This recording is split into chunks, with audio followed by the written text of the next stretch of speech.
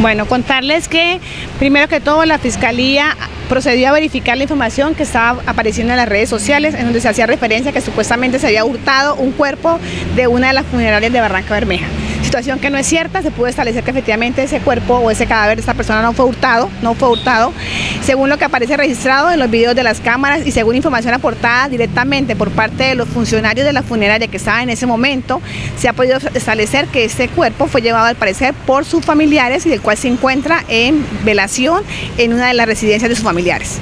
Pero ¿por qué se lo dio de esta manera cuando no permiso para hacerlo?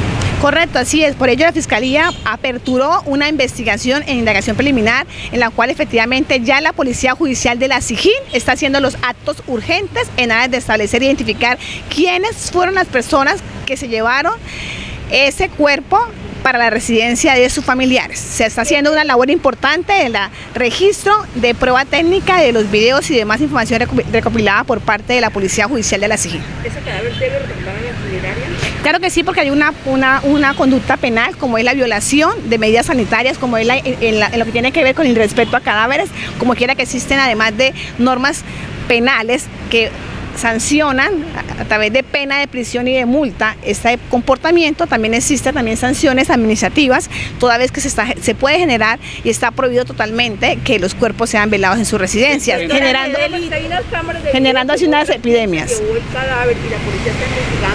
¿Esas personas serían sancionadas por haberse llevado el cadáver sin permiso de la funeraria? Claro que sí, por eso les, les indico que se está ah, realizando el desarrollo de unos elementos probatorios para poder identificar a esas personas que aparecen allí con un vehículo llevándose el cuerpo eh, forzosamente de la funeraria. También se está investigando cualquier situación que pudo haberse cometido por parte de la misma funeraria. Entonces se está tomando entrevistas, declaraciones y además la recolección de elementos materiales probatorios. ¿En qué incurrieron estas personas y qué sanciones habrían frente a esta o el delito? Existe una comisión presunta de delitos penales como son la violación de medidas sanitarias y lo que tiene que ver con el irrespeto a cadáveres. Eh, posteriormente ustedes realizarán un allanamiento en la vivienda para saber este delito.